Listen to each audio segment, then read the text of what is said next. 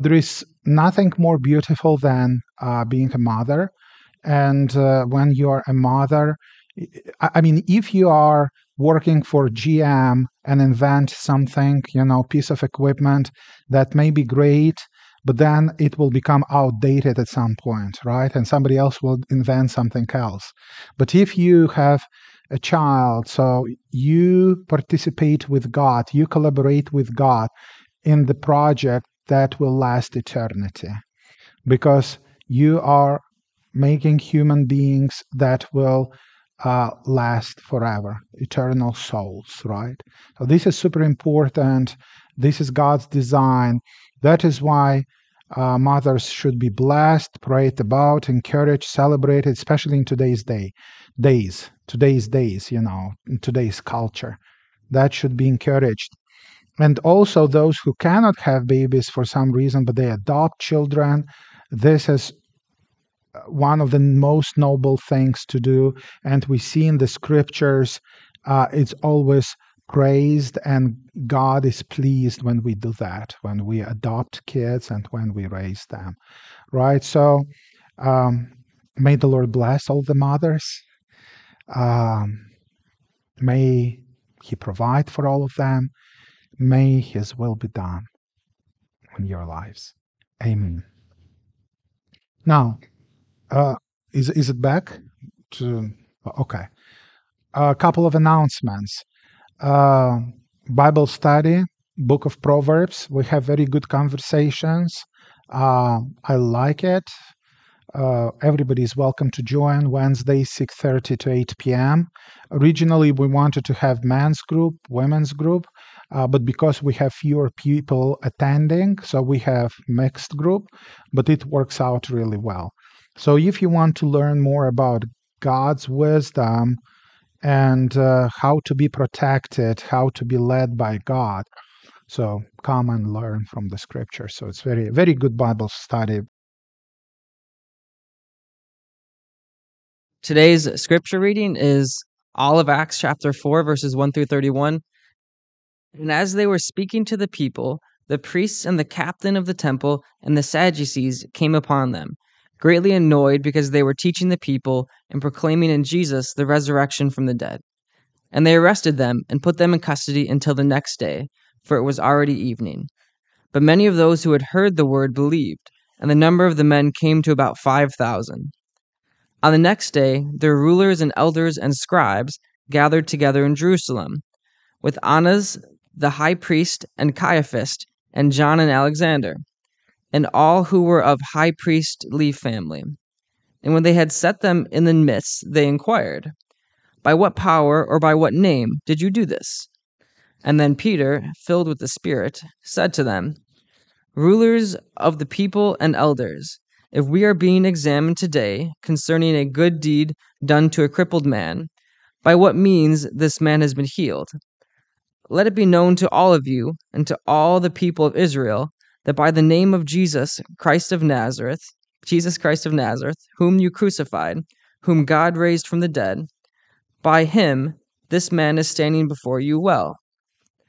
This Jesus is the stone that was rejected by you the builders, which has become the cornerstone. And there is salvation in no one else, for there is no other name under heaven given among men which by which we must be saved. Now when they saw the boldness of Peter and John, and perceived that they were uneducated, common men, they were astonished. And they recognized that they had been with Jesus.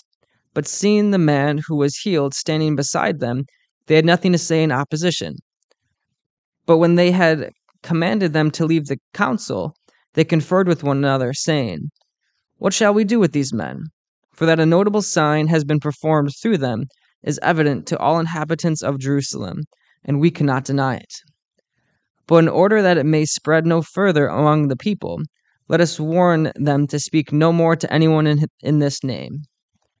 So they called them and charged them not to speak or teach at all in the name of Jesus.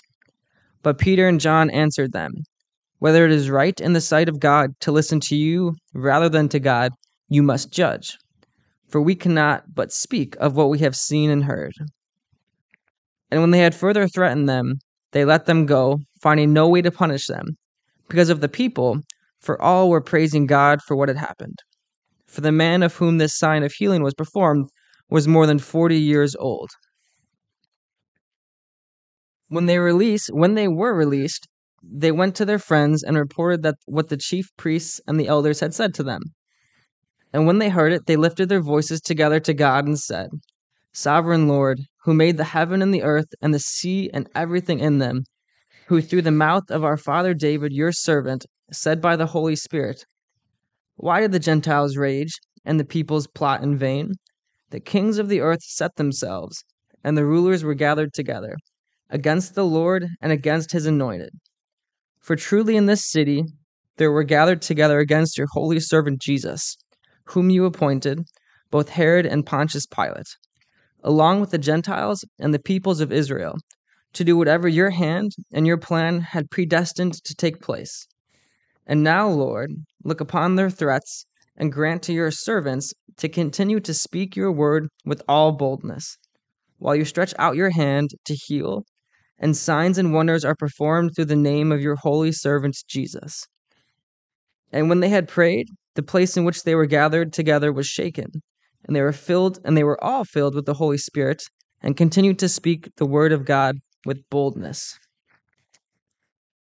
Now the full number of those who believed were of one heart and soul, and no one said that any of the things that belonged to him was his own, but they had everything in common.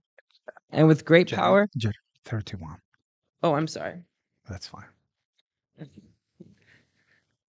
Yeah. Well, then.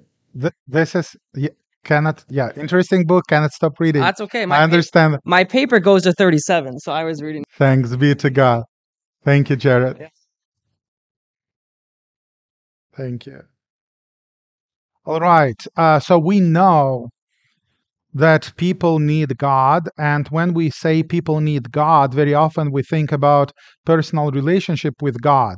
Well, you need God because you need healing, you need comfort, you need to find peace.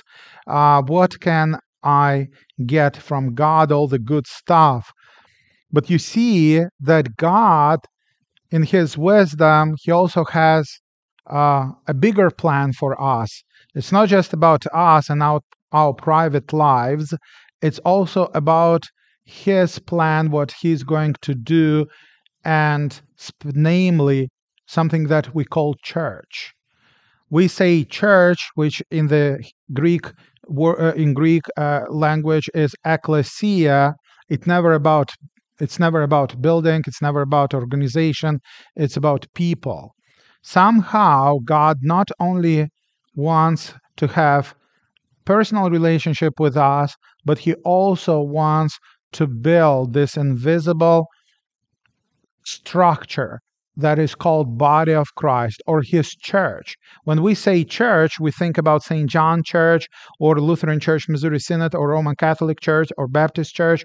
We think about specific local churches maybe buildings, maybe our feelings associated with those buildings, maybe synods or denominations. But those things do not exist for God. For God, either you are a child of God or not. He doesn't play our games with denominations and, you know, all the divisions. If you have faith in Christ Jesus, if you believe in Him, you are His child. If you obey him, you are his disciple. If you intentionally focus on learning about him and getting to know him, you are his follower. You are a part of his household. So if we are called together to do something, what is that? What is his plan? Because we've seen people doing church in many different ways and they have their own ideas about church, and uh, that's all good. But the problem is that very often our ideas do not coincide with God's idea and God's plans. That's a huge problem.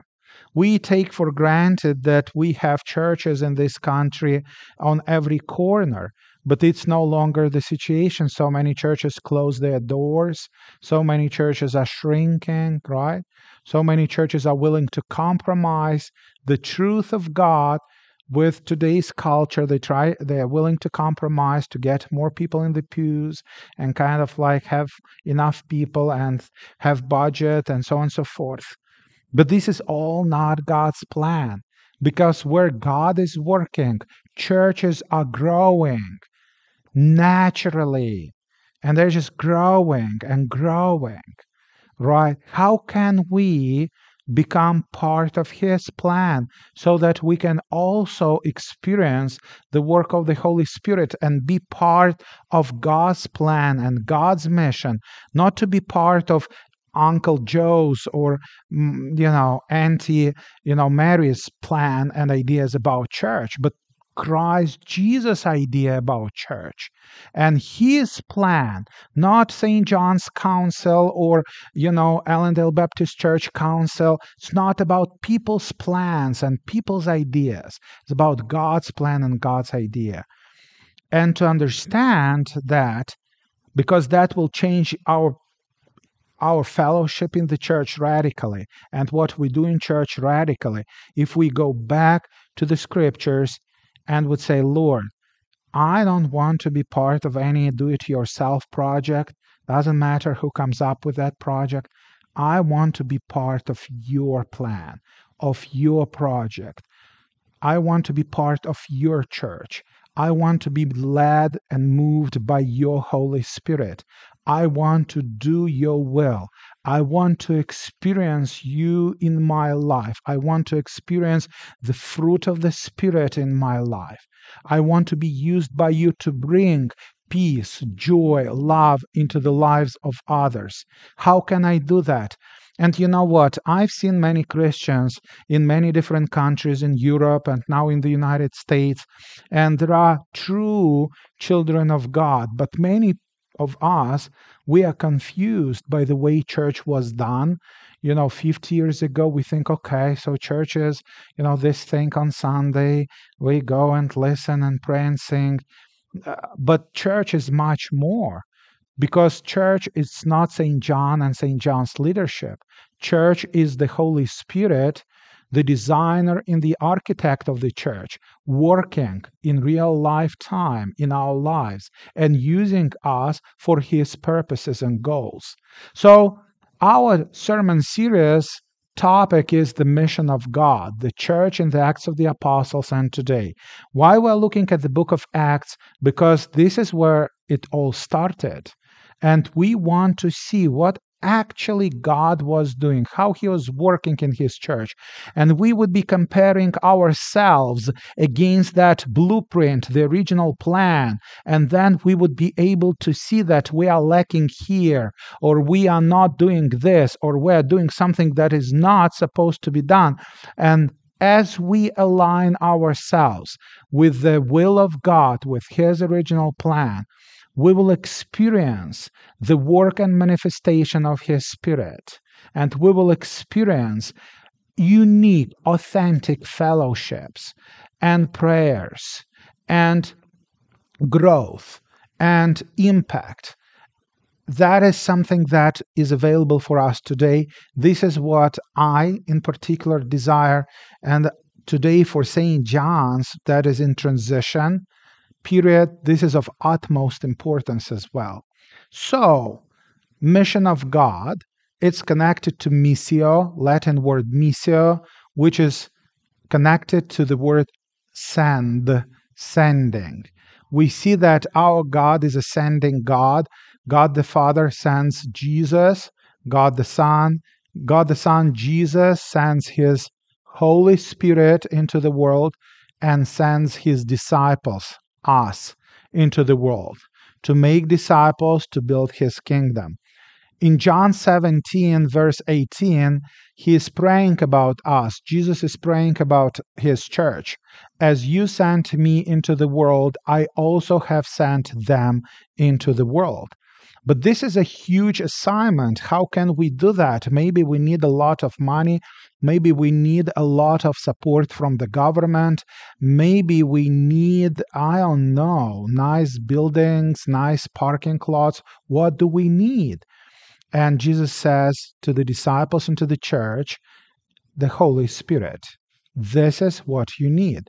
And in Acts 1 8, he says, but you, he's talking to the disciples, you will receive power when the Holy Spirit has come upon you, and you shall be my witnesses both in Jerusalem, uh, which is where Jesus was crucified, uh, was uh, died, and was raised. And then he says in Judea, and Judea it's neighboring area, and then he says Samaria, which is a little bit farther away. And then he says, even to the remotest parts of the earth.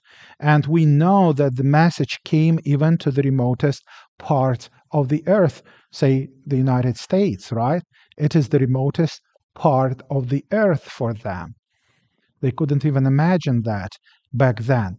Now, again, he's talking to 12 disciples, the core, and then there is another group, 120 they are not powerful. They don't have money. They don't have connections. They're not in position of power. And then he basically says, Go and conquer the world for me. And then they would think, okay, so what kind of resources we have? It's like us today, right? We're looking at the resources we have. And then he says, This Holy Spirit is your resource. And then day of Pentecost happens, and the Holy Spirit descends and he manifests himself mightily among the disciples. And then we see something strange is happening. Without social media, without television, without uh, radio, without all this stuff, people hear the word of God, the message, and they accept this message.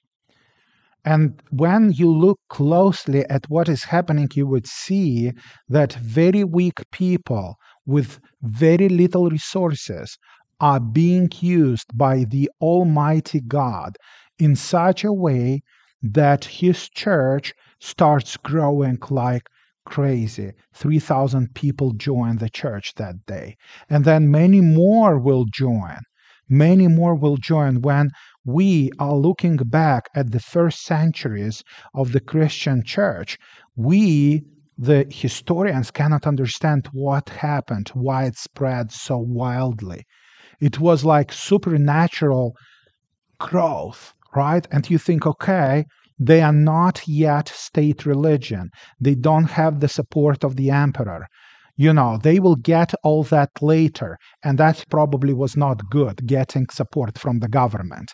That that was not an advantage to the church i believe. But somehow these poor people when when the authorities in jerusalem when john and peter in our today's text are standing before the authorities in jerusalem they're looking at them and what they say. They say these people are agrammatoi in the greek language uneducated, and idiotoi, idiots. The ESV translates as ordinary people, right? Means uneducated, simple, right? So we have our idiot from idiotoi, which means private person, ordinary person, not educated person. Very simple. And still, he's using them. Now I think about us we are used to think, oh, we need money for this. We need nice parking lot because McDonald's has nice parking lot and building, and this will attract people. We need a program, kids program. Uh, this is what will attract people. Uh, we need certain type of music or worship. This is what, what will attract people. They don't have all that. They don't have anything actually and they are attracting people. Why? Because it's the spirit who attracts people. Now, when you think, okay, we need kids program and then we will attract people,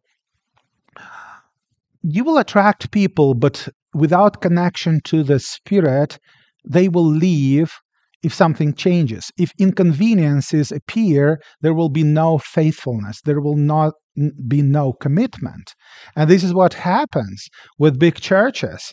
So as long as you provide services to people, you keep them, but because it's not the Holy Spirit who unites them, it's your program that unites them. The moment the program stops existing, people are gone.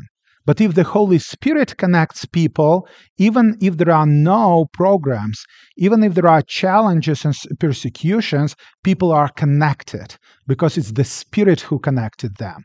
So that is big question to ask ourselves. Do I want to be part of something that is man made and something that will collapse the moment dollars are not there? Or do I want to be part of God's plan that stays, that is viable regardless of the financial, political, you know, and other circumstances? It just exists. This is a big question. And here they have nothing except for the Spirit. And I wasn't able to preach on Acts 3 last time, but I want to highlight several things in that chapter because chapter 3 and 4 are about the same event. So chapter 4 is just continuation of something that is started in Acts 3. And what is what is in Acts 3? We see that this group of people, the apostles, 120, and now 3,000 new Christians, they are in Jerusalem. They are meeting, you know, dedicated to the teachings of the apostles. They pray for one another. They have fellowship. That all is amazing. And then John and Peter, they are going to the temple to pray. And again, think about this. It's not a regular walk because Jesus was just crucified by these people from the temple. You know, high priest, they killed Jesus, right? So, and they hated Jesus. Yes, Jesus rose from the dead, but walking to the temple, you're basically uh, walking to the camp of your enemies. Very powerful, who just arrested and crucified Jesus. And still, Peter and John, they're going to the temple. And here you can see that you cannot do things like that with your own planning because what happens next to the temple is like atomic bomb, like nuclear weapon exploding in Jerusalem. The Lord takes John and Peter and they're walking, minding their own business to the temple. And you need to know that in those times they didn't have hospitals, uh, they didn't have uh, they didn't have uh, what do you call them? Um, um, places where people die peacefully. Hospices they didn't have rehab center, centers. They didn't have all that stuff. All these people like they were either in the streets because they would ask for you know alms you know so or they were at home but you have a lot of people who are disabled, who are sick in the streets, blind people, and they're asking for help. Now, Peter and John, they're going to the temple to pray at 3 p.m., around 3 p.m., and then next to the beautiful uh, gates, they see this lame uh, person, person who cannot walk because he was born like this. And I'm sure he was not the only person at the gate not the only person at the gate. I'm sure there were many people at the gate asking for help. Now, what Peter is doing and John, they are going to the temple, and then, and you know, in Acts 3 4, it says, And Peter directed his gaze at him, at this lame person, as did John, and said, Look at us. And when I look at this, you know, English words directed his gaze. And when I read the Greek text, the Greek says, and he was looking intensely. This is what it says. It says atenizo, completely fixed, fixated, staring, because fully occupied to observe with great interest and uh, fast and fixed gaze, to fix one's eyes on some object continually and intensely. This is what Peter does. Do you normally do that when you walk down, uh, you know, uh, a street full of beggars? in New York, I don't know, Washington, D.C., Grand Rapids, they're asking for money. People normally look the other way, right? Right? This is what we do. But here, Peter stopped and he was looking at this guy intensely. What is happening there? When I saw that, I was just thinking, okay, what is happening here? Why Peter is looking at him? And you know what? It's it's very important to learn to understand how God is talking to you, how God is communicating to you. Today in our Bible study, we were talking about eight ways how the Holy Spirit communicates with you. But God was definitely talking to Peter, at this moment. The, he was talking to him, and what Peter does next is amazing. Peter has Peter is doing this. Peter said to this guy, I have no silver and gold, I have no budget, I have no money, I have nothing, but what I do have, I give to you. In the name of Jesus Christ of Nazareth, rise up and walk. So it's very interesting. When you think about God's church, 1 Corinthians chapter 12, the apostle Paul says that the Holy Spirit give, gives gifts to his people as he pleases for the common good. So imagine the Holy Spirit, the designer and the architect of the church, he is giving to people gifts for the common good, and he is using people to grow the church. This is what is happening, right? So Peter is a very good example of that. The Holy Spirit has already nudged him on the day of Pentecost to preach, and 3,000 people joined the church. It's not because Peter was a charismatic preacher.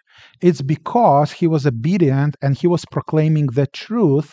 He was talking about Jesus, you know, that Jesus rose from the dead and then quoting some scriptures, but it's the Holy Spirit who was working in the hearts of the listeners.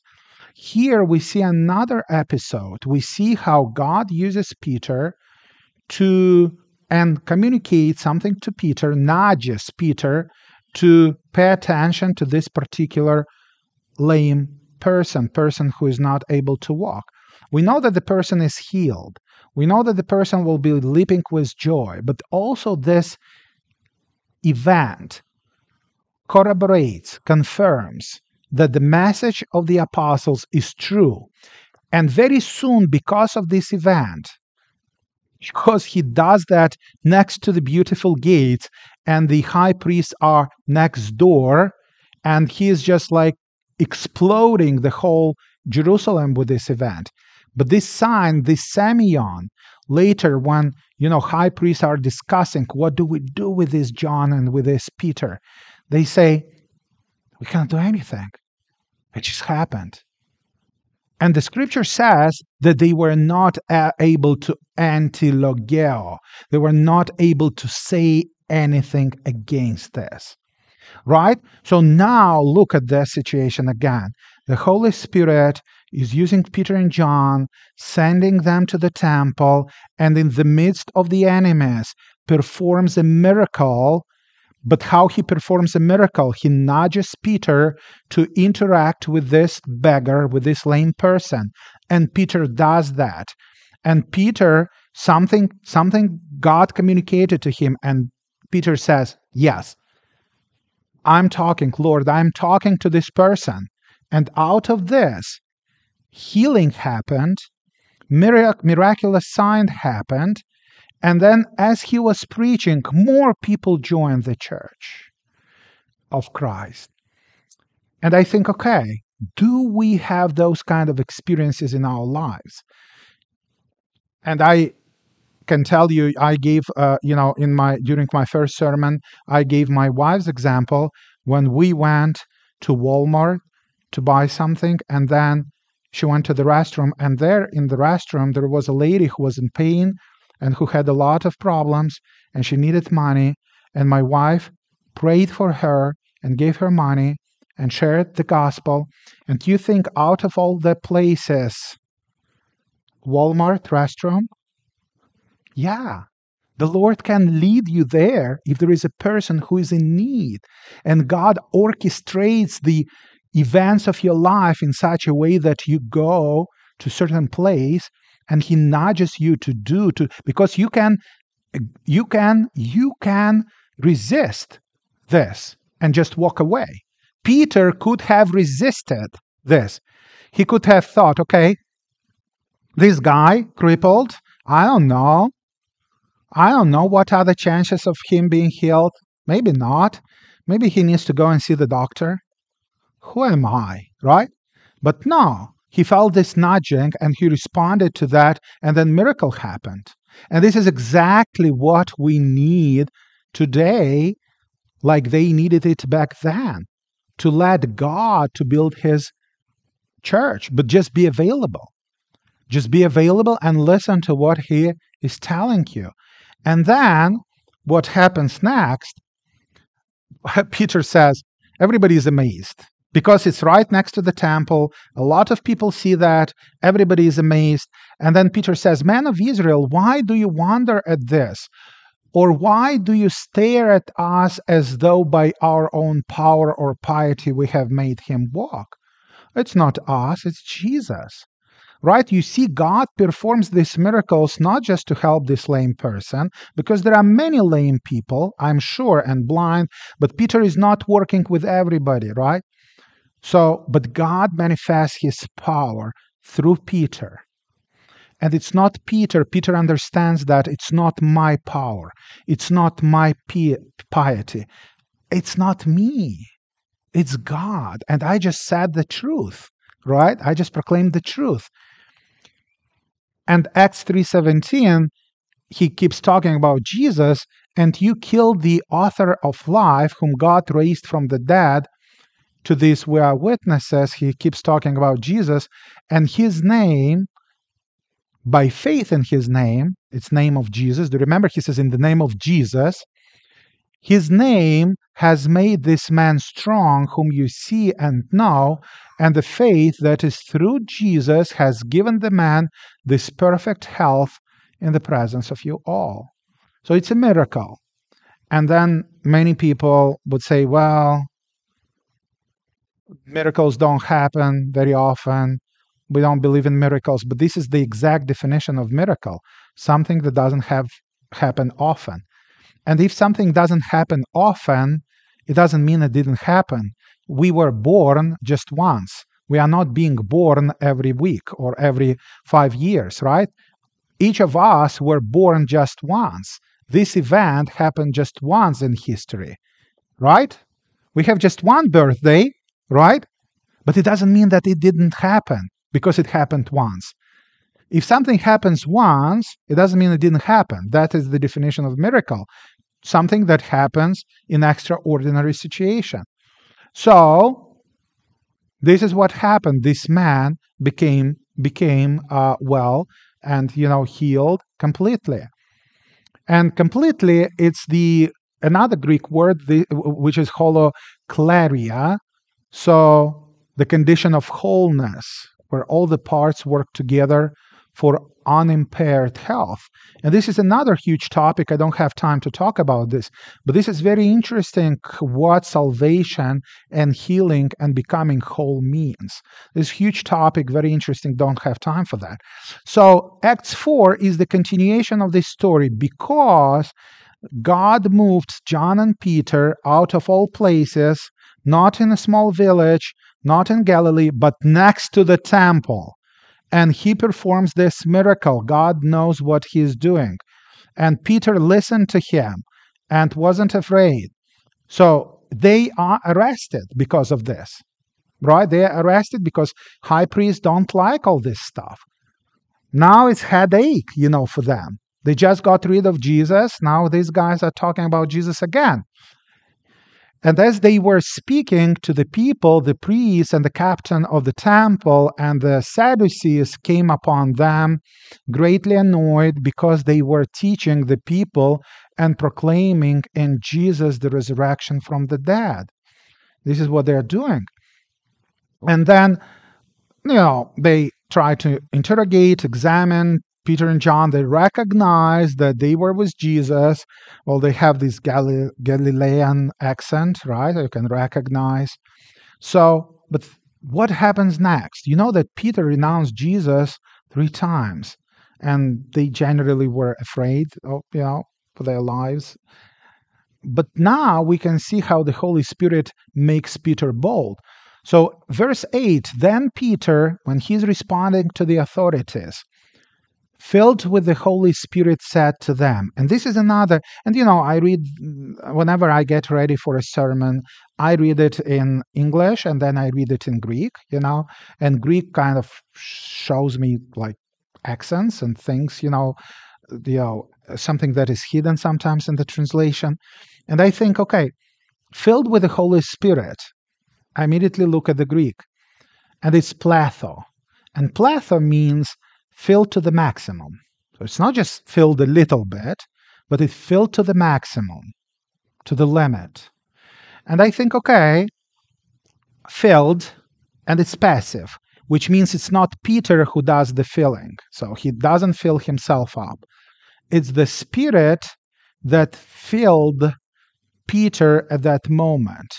And the result of that was that Peter was talking with boldness. And that is very important because the fact how Peter and John spoke and this guy who was healed was brought in, these two things made them silent. They didn't know what to say. They didn't know what to say. But you see, the healing of the lame is the work of the Holy Spirit. And the boldness of Peter's proclamation is the work of the Holy Spirit. So it's the Holy Spirit who is working. And you heard from me that the Holy Spirit is doing the heavy lifting, right? So we just need to be faithful and available. Peter doesn't say anything sophisticated, anything like they think that, that, from his speech they were able to very quickly understand that he is illiterate which means didn't go to school he's just a fisherman and th- that he's an ordinary person or idiot right idiotoi and they don't know what to say in response who did all that it's the holy spirit right? So this is how the church is working. Now, I'm thinking, okay, St. John, we have elders, we have council, uh, we think about the future of St. John and transition, you know, what's next? And where is the Holy Spirit in all of that? Is it that we, say, in the council meeting, just get together, discussed, you know, worship times, or, you know, kind of plan? And is that the work of the Holy Spirit? is that it is going to give life to the church, right? So, what our focus is on, right? Where we can let the Spirit to actually lead us. Because we can resist, we can quench, and we can grieve the Holy Spirit. We, can, we see that in the scriptures as well, right? So, this is a very good question for us to be in prayer right now repentance, prayer, and ask for God's leading. So, what happens next, as I already said, now when they saw the boldness of Peter and John, and seeing the man who was healed standing beside them, they had nothing to say in opposition. They were just silenced. Again, who did this? Clever Peter? Who did that? So it's the Holy Spirit. It's God Himself who is orchestrating everything. I pray that we are that we have fellowship with the Holy Spirit so that we are sensitive to his nudging and leading, right? Any way he leads, right? So he can talk to us in many different ways. So, and then we uh, respond. We respond accordingly. So, what happens next? The authorities, they don't know what to do. They say, What shall we do with this man? For that notable sign, the healing of this lame person, uh, semeion, they say semeion, which is a sign typically miraculous, like in this case, given especially to confirm, corroborate, or authenticate something. For that a notable sign has been performed through them is evident to all the inhabitants of Jerusalem, and we cannot deny it. And what they start doing, they start threatening Peter and John. And this time they let them go. And of course, Peter and John disobey. And then Peter and John are beaten. This is not the end of the story. At the end of the story, Peter is killed. Right eventually. And John is exiled to a prison, you know, to an island that served as a prison. So it's the end of their stories. But for the time being, we have this notable sign. And when when the authorities are trying to threaten them, and this is our situation today because today being a Christian is dangerous. If you are a Christian and faithful to the scriptures, they can cancel you, they can cancel your YouTube channel, they can cancel your business, they can come after you with discrimination laws that you discriminate, they will shut down your business, they would sue you into poverty, right? It's the very difficult they you know to to, dangerous to be a Christian, right? So, and this is the question that each Christian has to answer. Shall we obey God or shall we obey what the government or people in power tell us to do? And this is exactly the choice John and Peter were presented back then. And they told them specifically, do not talk about this name and about this Jesus. But Peter and John answered them, uh, whether it is right in the sight of God to listen to you rather than to God, you must judge, for we cannot but speak of what we have seen and heard. We are faithful to the we are faithful, we are committed to proclaiming the truth, no matter what. That was their choice. And I hope that can be our choice today as well. Now, the authorities let them go because they're afraid of the people, because the people are excited. They know the guy who was healed. The authorities are afraid. They let Peter and John go for now. And Peter and John go back to their church and they tell them what happened. And then the church is praying about this whole situation. And please understand this. If today somebody does something bad to this church, you call the police, you can sue them, you will hire a lawyer, you will go to the government for protection. Back then, those things were not available to them. Right? They were outlawed. They were outlaws. They were criminals. So, which means whenever they had a problem, they could bring it only before God, only before God. Unlike us, right? We like human mechanisms. So, and this is what they do, this is what they say to the Lord in prayer. They start praying. And now, Lord, look upon their threats and grant to your servants to continue to speak your word with all boldness, while you stretch out your hand to heal, and signs and wonders are performed through the name of your holy servant Jesus. This is their prayer. Okay? This is what they do. If we could only learn this from them, you would see that the church would be transformed completely. But no, we have our wisdom and we understand that this is risky and there are you know legal risks financial risks and we don't want to assume those risks. We want to be prudent and careful. And because we are afraid of everything we don't do much right? We don't do much.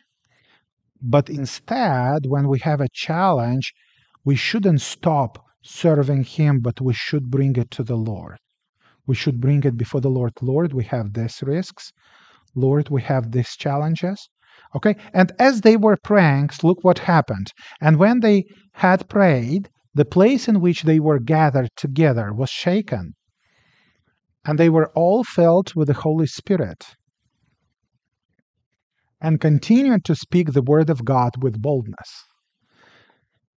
Well, this is the purpose of the church, because when you speak the word of God with boldness, uh, the Holy Spirit is working in the hearts of the hearers. And He brings them to repentance, He creates faith in them, and this is how they have genuine faith in Jesus, and this is how they are saved. So, this is how His church is growing. Our role is to speak the word. We need boldness. The Holy Spirit will encourage us, right? So, this is our role. Our role is very simple, very small. Speak the truth, proclaim the word with boldness. And the rest, in terms of church growth, conversion, everything, is the work of God, the work of the Holy Spirit, right? And this is how this church, because you would ask this question today to launch a church, you would think, well, if I was thinking about St. John, what does St. John needs today, you know? And then people can come up with many ideas. Well, we need another, you know, 200 thousand dollars to make this you know parking lot look beautiful and we need another 150,000 to build this and to do that and you know and we need another $200,000 to hire um, youth director and uh, children's program coordinator right yeah you see how people would normally think right so but no no these people in the book of acts they don't have any that they don't have any money, they don't have anything, and things are happening, right? Because the spirit is working and connecting, right? So this is this is this is what we need to learn to do. So I'm just amazed how great our God is.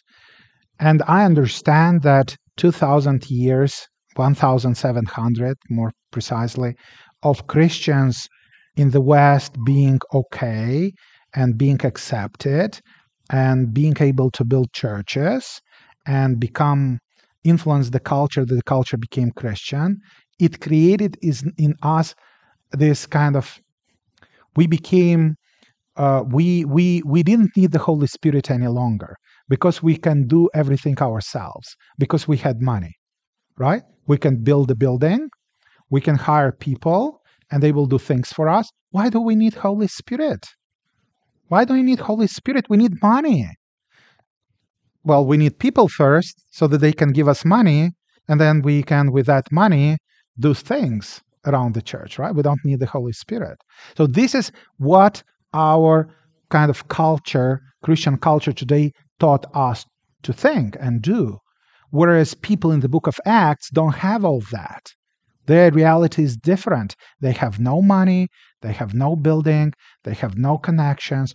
All they have is God, right? But then when they are converted, their commitment is such that they are willing to die for Christ. This is something very important for us to learn from them. I invite you to pray about this together with me.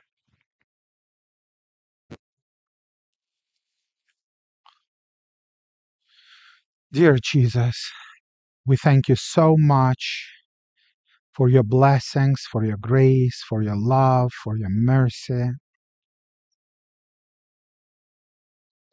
Jesus, we want to have personal relationship with you. But also we understand that you are calling us to build your church, to make disciples, to proclaim the truth, to have authentic fellowship. We look at the book of Acts, we look at the first church, we see that they didn't have many things we have today. And your spirit manifested powerfully among them. And you worked in amazing ways. And we want the same. We want to experience the same Jesus. Give this land, give this country revival, give this church revival, give this area revival, so that you may be glorified and we may be part of your plan. In your name, Jesus, we pray. Glory be to the Father, and to the Son, and to the Holy Spirit, now and forever. The Lord bless you and keep you. The Lord make his face shine on you and be gracious to you. The Lord look upon you with favor and give you peace.